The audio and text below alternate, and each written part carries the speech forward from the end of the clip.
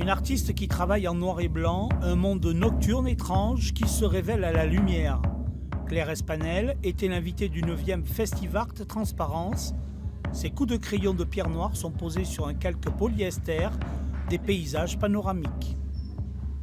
Ce sont des, visions nocturnes, euh, parce que j'apprécie particulièrement les voyages la, nuit, euh, où les phares des voitures vont éclairer euh, les, arbres, en l'occurrence, d'une manière très singulière, puisqu'ils vont devenir très très blancs, comme, comme des fantômes.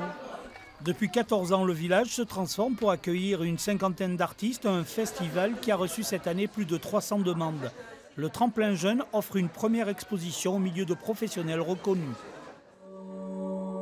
Jürgen Schomara arrive de Colomiers. Son art de la sculpture sur verre est apprécié dans le monde entier. Ce qui est magique dans le verre, c'est la dioptrie. Alors c'est vrai que selon euh, l'arrivée de la lumière et la façon dont, elle a de, réfléchir dans, la matière, en fait, ça, crée effectivement euh, ça une autre forme. Alors il y a une forme euh, strictement formelle et il y a la forme lumineuse. Arros de Naï mène une vraie campagne pour rendre accessible l'art, une réussite pour les nombreux bénévoles du village qui travaillent toute l'année pour préparer Festivart.